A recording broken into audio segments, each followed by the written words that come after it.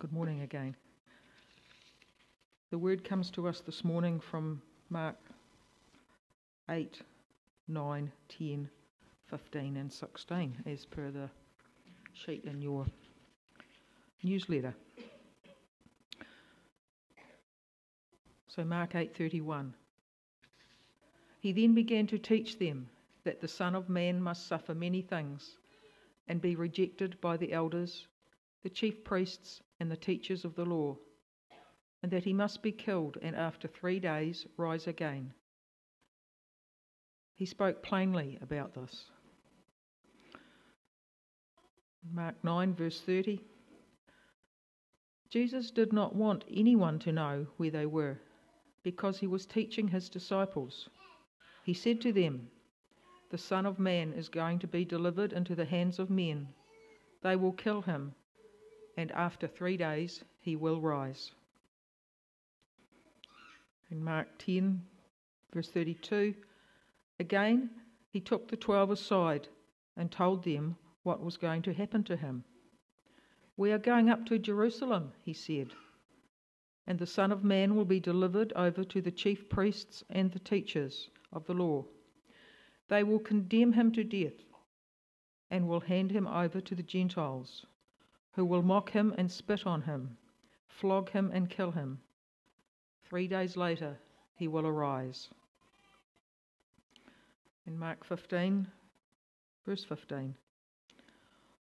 Wanting to satisfy the crowd, Pilate released Barabbas to them. He had Jesus flogged and handed him over to be crucified. The soldiers led Jesus away into the palace, that is, the praetorium, and called together the whole company of soldiers. They put a purple robe on him, then twisted together a crown of thorns and set it on him. And they began to call out to him, Hail! King of the Jews. Again and again they struck him on the head with a staff and spit on him. Falling on their knees, they paid homage to him. And when they mocked him, they took off the purple robe and put his own clothes on him. Then they led him out to crucify him.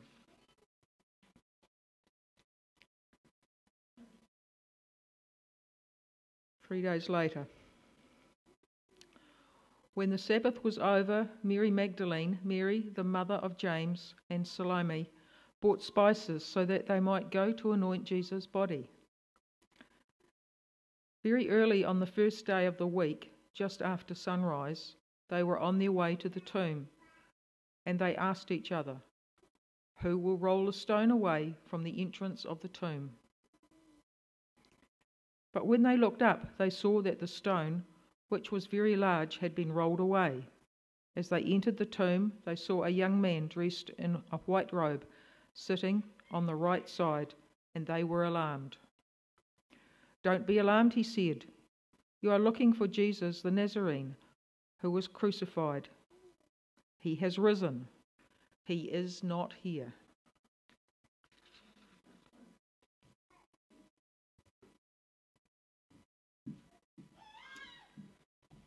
Thank you, Mari. Thank you. Thank you, Barbara.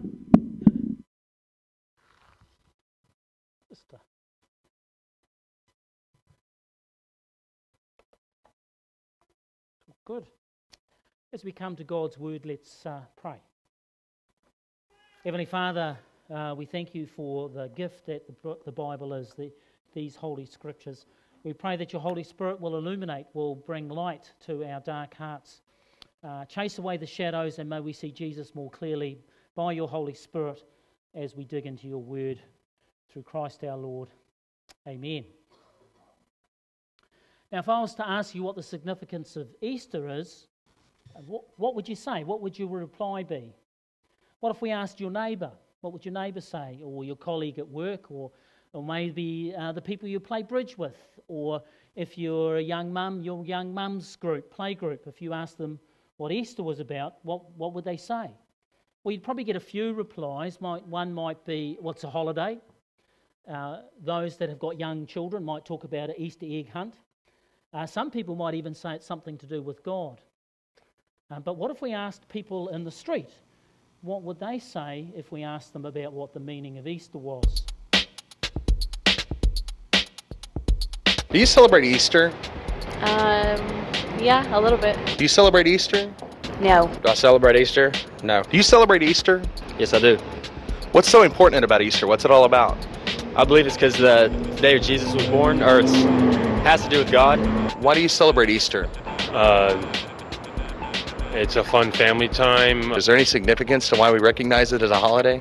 I don't recognize it as a holiday due to my religious beliefs. Do you celebrate Easter? Mm, not really. I just know that you pick up Easter eggs on Easter. Why do you celebrate Easter? Because uh, my parents did. What do you think the significance of Easter is? What's it all about? Uh, it's about uh, Christ, uh, the Christ of. Uh, Why do you celebrate Easter? Because that's how I grew up. What's it all about? I don't know. What's the significance of Easter? Um, I really don't know. Do you believe that Jesus rose from the dead? Yeah. You know, that's the historical meaning of the holiday. Oh, really? That's it. Learn something new every day, don't you? Do you believe that Jesus rose from the dead? Yes, Do you know that's the significance of the holiday?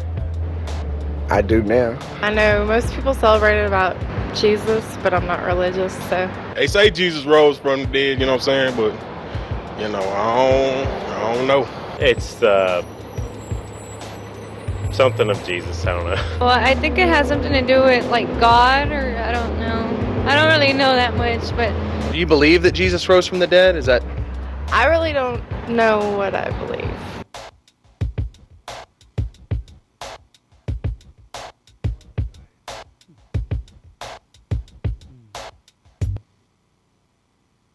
Yes, it is a shame, isn't it, that uh, so many people don't know about Easter. Uh, but the wonderful thing about Easter is that you can always learn something more. Even if you're like the folk in that street interview, many who d- didn't know what Easter was at all, or whether you're like people sitting here, I'm sure, who are super interested in Easter and read about it and know about it and, and love the Lord Jesus Christ. We can always learn something new. And on top of that, the Easter story never loses its thrill for those whose hearts are kept captivated for Jesus. And so today we're going to ponder and explore Calvary, the cross, and the empty tomb. And we're going to anchor ourselves in the Gospel of Mark. Uh, for those visiting here, we've been covering Mark over an extended time. A few years ago, we did the first eight chapters of Mark, and then we had a break. And then a couple of months before Christmas, we picked up in the second half of Mark. Last week, we looked at the triumphant entry of Jesus on that first Palm Sunday, and today we consider the climax of Mark's Gospels, Mark's Gospel, all the Gospels really, which is the Easter story. Now, unlike the other three Gospel, Mark makes us work hard to get to the meaning of Easter, the why of Easter. Mark's excellent about telling us what happened and giving us great detail, step by step, what happened through the Easter, right through to the empty tomb. But the why of Easter, well, in Mark, we have to sort of roll our sleeves up and do quite a bit of hard work to get to the why. So, to unlock the meaning of Easter in Mark's Gospel, we're going to look at three things. Uh, first of all, we're going to look at the predictions that Jesus made about what would happen in Jerusalem in the couple of weeks, maybe month or two beforehand. He made three predictions of what would happen in Easter. Then we're going to see these predictions fulfilled. And then we're going to use these to unlock the meaning of Easter. So, first of all, the three predictions. Well, the first prediction happens in Mark chapter 8 at the midpoint of the gospel. Jesus asks his disciples, Who do you say I am? And for a change, unusually, probably for the first time, the disciples get it right. Get it right. Peter says, You are the Messiah, for Christ. You see, the disciples knew that Jesus wasn't uh, John the Baptist who rose from the dead. He wasn't Elijah come again, or he wasn't some other prophet. That's what the word on the street was. They knew he was the Messiah. Now, Jesus realizes the disciples have no idea what that means. So, to prepare him for them for the shock of what will happen in Jerusalem, he gives them three predictions over a period of time. And the first one is straight after the confession in Mark chapter 8 from verse 31. Mark 8 from verse 31. Then Jesus began to teach them that the Son of Man must suffer many things and be rejected by the elders, the chief priests, and the teachers of the law, and that he must be killed and after three days rise again. He spoke plainly about this. Now, Mark says that Jesus spoke plainly about this because in the rest of the Mark, Jesus spoke in parables. And parables, well, they were hard to understand. And even the disciples had to go up to Jesus afterwards and say, Tell us what it means. But this is not with these predictions. This is not a parable. This is not a mystery. Jesus spoke as plainly as he could. And what was he trying to emphasize? Well, there's a, a few things to note in this prediction that will be repeated in the next two. First of all, Jesus refers to himself in the third person as the Son of Man. And this is a reference back to the prophet Daniel, where Daniel sees this vision, this glorious vision of the Messiah, the Son of Man, coming to God in the heavens at his throne in his glory, the Son of Man. And this is Jesus' favorite self designation for him. Other people didn't call him the Son of Man. Now and again, someone might call him the Son of God, but only he referred to himself as the Son of Man. Now, this is not the main point of the predictions. Uh, it does have implications for later on. The three main things that each of these predictions has is that Jesus uh, will be rejected by the elders, by the, by the religious leaders. He'll be rejected, he will be killed, and he will rise again from the dead after three days. After three days. And that's what will happen. And so that's the first prediction. And this fails to th- sink in.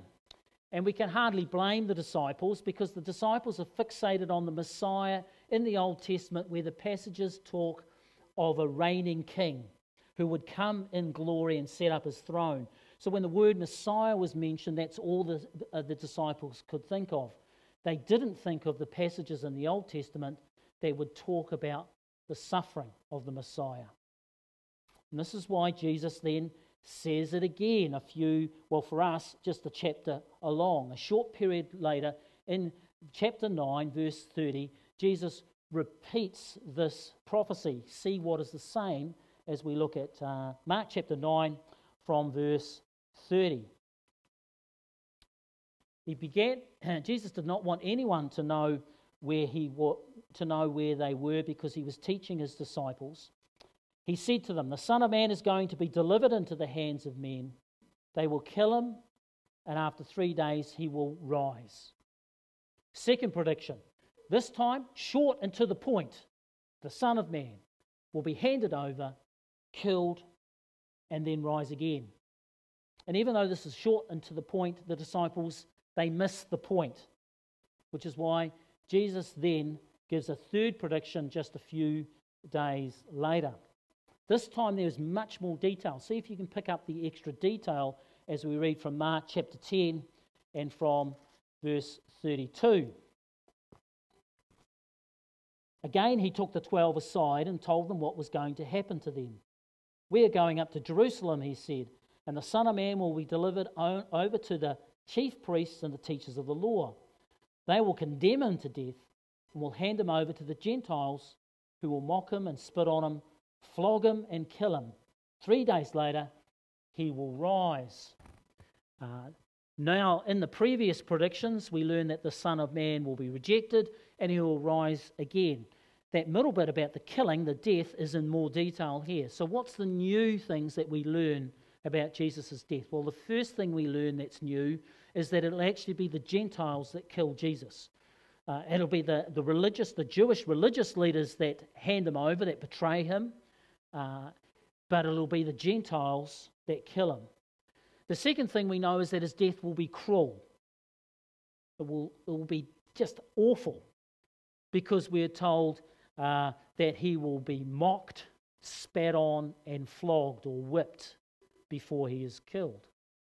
But Jesus doesn't end on a note of gloom, but on triumph, because no matter how cruel and horrible his death, three days after, he will be raised again. And so these are the, the three predictions that Jesus gives his disciples to prepare them for what will happen as he goes to the holy city. Let's see how these are fulfilled. Uh, all through that week, from the triumphal entry on Palm Sunday to the, the darkness of Good Friday, all through that week, the religious leaders reject and attack Jesus' claims that he's the Messiah. And all this accumulates in a farcical trial in the wee small hours early on that first Good Friday morning. There, the religious leaders condemn him to death, but they don't have the authority to kill, so they must take him to Pilate, because Pilate, as governor, has the only one that can ex- have people executed.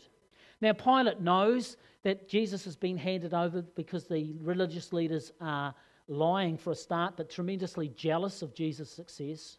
So Pilate tries to wiggle out of it. But he's on pressure from two sides. The religious leaders are saying that if he doesn't crucify Jesus, he's, he's disloyal to Caesar. And the religious leaders uh, and the crowd, they're just crying out, Crucify Jesus. So we pick this up in, in Mark 15 from uh, verse 15. Wanting to satisfy the crowd, Pilate released Barabbas to them. He had Jesus flogged and handed over to be crucified. The soldiers led Jesus away into the palace, that is the praetorium, and called together the whole company of soldiers. They put a purple robe on him and then twisted together a crown of thorns and set it on him. They began to call out to him, Hail, King of the Jews! Again and again they struck him on the head with a staff and they spat on him. Falling on their knees, they paid homage to him. And when they had mocked him, they took off the purple robe and put on his own clothes then led him away to crucify him. And so, Jesus Christ, the Messiah, the one long promised, was mocked. He was spat on. He was whipped. Those terrible 39 lashes ripped his back apart and then finally crucified. And Mark records his death very simply but very powerfully with these words verse 37 of chapter 15, with a loud cry, Jesus breathed his last. And I wonder if the disciples understood. Three times Jesus had clearly said that he would be killed, and three times he had clearly said he would be raised from the dead. Do you think the penny dropped with the disciples? Do you think sort of the gears got into motion and they did the maths? Do you think it dawned on him on them that in three days' time something wonderful and glorious would happen? I suspect not. In their shock and their grief, I would imagine all they could deal with is the despair of having their dear Lord killed. Now, Mark continues the Easter story. Three days later, women who were devoted to Jesus arrive at the tomb. And to their surprise, the large stone has been rolled away, and the tomb is clearly empty. And then, to their fright, to their terror, an angel speaks. And we see this in Mark uh, chapter 16, verse 6. And the angel says, Don't be alarmed. You're looking for Jesus the Nazarene, who was crucified. He has risen. He is not here. But do you know the woman ignored the angel's instructions? The instructions were, Don't be alarmed. But instead, the woman are tremendously alarmed. Verse 8 Trembling and bewildered, the woman went out and fled from the tomb. They said nothing to anyone because they were afraid. And do you know, this is where Mark ends his gospel. This is it. There's no more in Mark's gospel as it was originally written. He finishes here in Mark 8. I'll read it again. Imagine you're reading all that gospel. Imagine also, Mark was the first gospel written. So Matthew, Luke, and John weren't written. So the original readers can't say, well, it's finished like this, I'll just see what Matthew says. They didn't have that option. So this is how Mark finishes his gospel. Trembling and bewildered, the woman went out and fled from the tomb. They said nothing to anyone because they were afraid. Imagine if a modern author did that. Yeah, they just books wouldn't sell, would they? And this is where the hard work comes of us trying to work out what's the meaning of Easter? What is the we've got the empty tomb, but we've also got some women that are tremendously afraid. So what is the meaning of the empty tomb? Now the other gospels, they have the woman getting over their initial shock, and then the other three gospels, they consider the meaning. And they help us to work out what the meaning is. We have to roll our sleeves up and put on detective hats to work out what Mark is trying to tell us about the resurrection, about the empty tomb. And the first thing to consider that if you've got your Bible with you, you will see that there's an extra few paragraphs tacked on. In my Bible, there's a big underline, and then in brackets it says, the earliest manuscripts and some other ancient witnesses do not have the next few verses. Every Bible that I've looked up has that there. Some footnote or comment that after verse 8, that the earliest and most reliable manuscripts do not have this second section or this last section. Now, most Bible scholars and Bible teachers agree that these extra paragraphs have been added later. They're helpful, they summarize what Matthew and Luke, uh, how they end their gospel. It's very helpful, but they agree that that was not how Mark finished his gospel. So, like the original readers of Mark who didn't have the other gospels to look at, we're going to have to make sense of the why. And Mark has not left us without the key verse that unlocks the why of Easter. It's found just after the third prediction that Jesus made. So Jesus said, oh, The Son of Man is going to be betrayed, will die, but rise from the dead. Now, straight after that, they're on the road. James and John come up to Jesus and they take him aside and they ask for the power seats in the kingdom they say, Oh, Jesus, will you do us a favour? And Jesus, he's pretty, pretty switched on. What's the favour? What are you asking, James and John? Oh, we want to sit on your right and on your left in glory. And a, it's a totally inappropriate question or request for the two brothers to ask. So Jesus calls all 12 together and he says, If you want to be a leader if you want to be a ruler in the kingdom of God, you have to be a servant first. You've got to serve people. Those you want to lead, you've got to serve. And then he, he finishes it off. And uh, this is Mark chapter 10, verse 45. And he finishes off with these words. And you'll see at the end of this verse that the answer to the empty tomb and the meaning of Easter is found here. Verse 45 of chapter 10 For even the Son of Man did not come to be served but to serve, here it comes, and give his life a ransom for many. This is the key that unlocks the empty tomb in the Gospel of Mark. For even the Son of Man did not come to be served, but to serve and to give his life as a ransom for many. That is the why of Easter that we see in Mark's Gospel. He gave his life he died on the cross as a ransom for you and I. Now, this is reinforced later by the Apostle Paul, writing to his young charge Timothy. And we see this in 1 Timothy chapter 2, verse 3. God our Saviour wants all men to be saved and come to the knowledge of the truth. For there is one God, one mediator between God and men, the man Christ Jesus, who gave himself as a ransom for all men. Ransom. That's the key to unlock the Easter story in the Gospel of Mark. Now, this ransom business is a bit hard for us to understand. It's not something that really happens in the 21st century New Zealand. Hands up those who have known someone that was ransomed in Cromwell lately. It's, I mean, it's the stuff of movies, isn't it? And it's the stuff that's in fiction books. And we understand in principle that someone is taken against their will, and until something valuable, normally, um, you know, a truckload of cash is handed over, that person stays a prisoner until they are ransomed. And then we, talk, we, know, we know about ransom notes and all that sort of thing. But in, th- in practice, we just don't see it. But I have a story that I think helps us understand the ransom that happened on that first Easter. True story. So let me take you back to the Second World War. And on the last day of July 1941, the Auschwitz sirens announced the escape of a prison. Uh, this infamous concentration camp where mainly Jews, but also other folk as well, Christians who um, resisted um, Hitler and his regime, were in a, a, a camp where they were systematically exterminated.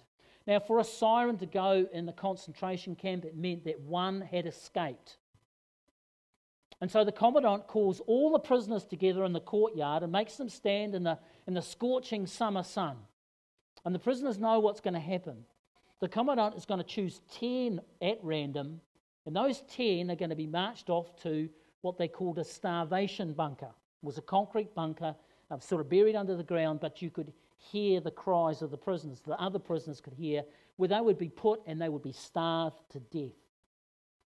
And so the commandant, with his uh, Gestapo assistant, is walking down the lines of the prisoners and randomly choosing 10 people. And he comes to one man and, cho- and chooses him. His name is Francis Gawalski. And the man cries in despair, My poor wife and children. Now, at that moment, an unimpressive figure of a man with sunken eyes and round glasses in wire frames stepped out of the line and took off his cap. What does this Polish pig want? asked the commandant. And the man who had stepped out said this I am a Catholic priest. I want to die for this man. I am old. He has a wife and children. I have no one, said Father Maximilian Kolbe.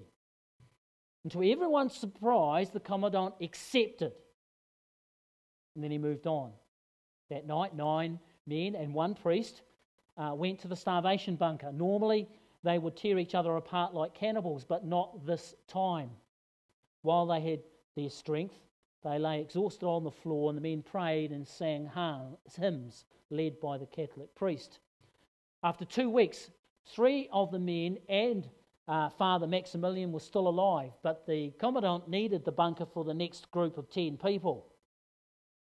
And so at midday, after two weeks in the starvation bunker and still conscious, the Polish priest was given a lethal injection and died at the age of 47.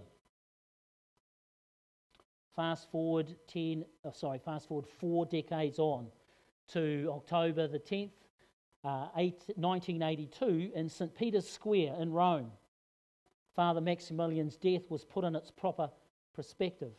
There, a crowd of 150,000 had gathered, including Francis Gawalski, his wife, his children, and his grandchildren. For indeed, many had been saved by that one man. The Pope, describing Father Maximilian's death, said, This was victory run over all the systems of contempt and hate in man. A victory like that won by our Lord Jesus Christ. For even the Son of Man did not come to be served, but to serve and give his life a ransom of many. You see, like Francis, we are condemned to death in the most horrible way. If we do not have Christ in our life, if we do not look to him as our Saviour, then in fact we are no different than Francis Gawalski as he faced the starvation bunker. Because if we die without Christ, the Bible is very clear that we are dying into eternal death, into eternal separation of God, and it is very grim. Do you know if, there, if it wasn't that grim, if there was another way for us to be saved, then Jesus would have never died on the cross. But what lies behind, before each one of us without Jesus is so awfully horrible. God sent his Son to die for us. You will never understand what Jesus did for us until you understand the depth of our own sin, your own sin, and what awaits for you if you are our Christ.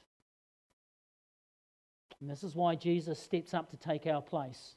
You see, Maximilian gave his life as a ransom to save one prisoner, but Jesus, the Son of Man, the Son of God, gave his life for the ransom of many, including you and I. You know, and Maximilian's death and Jesus' death would have been a tra- tragedy. Well, Maximilian's death was a tragedy because what happened was, though someone was set free, Maximilian died and he stayed dead in the grave. And that's tragic. There's a beauty to that tragic. There's something that attracts us to the sacrifice of that story, but it's still tragic because the Polish priest was still in the grave. But you see, there's no tragedy with the death of Jesus. He died, and if he'd stayed in the, cro- in the grave and saved us, well, that would have been nice, but it would have been a tragedy. Jesus did not stay in the grave. He rose from the dead. So his ransom did not just save us lives so that we would die in another few decades later, like Francis did. Jesus died on the cross and the tomb was empty because he crushed Satan's head. He defeated death. He destroyed sin and was raised from the dead. So not only are we ransomed, we are ransomed into eternal life. We are, are ransomed into forgiveness in the here and now and in the heavenly places. We are ransomed into being adopted as the beloved daughters and sons of the living God. And that is why Easter is never a tragedy. Oh, yes, Good Friday is awfully dark and it moves our spirits. And uh, we sense something of the anguish of what Jesus went through. But there is always the good news of Easter Sunday and how Christ rose from the dead. Because of Jesus' ransom for us, we are forgiven and adopted as dearly loved children who will be with our Lord and Saviour when he returns in his glory.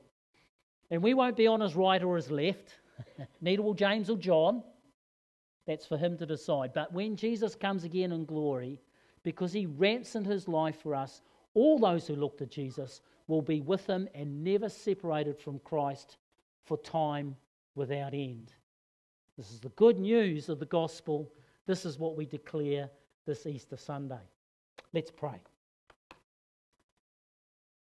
Oh, Heavenly Father, Mark's made us work today. You know, fancy cutting the gospel off there with the woman terrified and afraid. But we thank you that we know that they got over that and they went and told the disciples, and then you appeared to those two on Emmaus Road, and then later on in the upper room. And oh, the rejoicing of the disciples when they saw you raised from the dead. And that same rejoicing is in our hearts because we know that you are raised from the dead. And so we commit ourselves to you. We continue to pray that we may live lives worthy of what you've called us to, not because in our own strength, but because of the empowering of the Holy Spirit. Help us to declare faithfully that Jesus Christ is risen today, that we may sing his praises not only in this life, but all eternity. Pray this in Jesus' name. Amen. We're going to celebrate now as the music team come and lead us in our final song.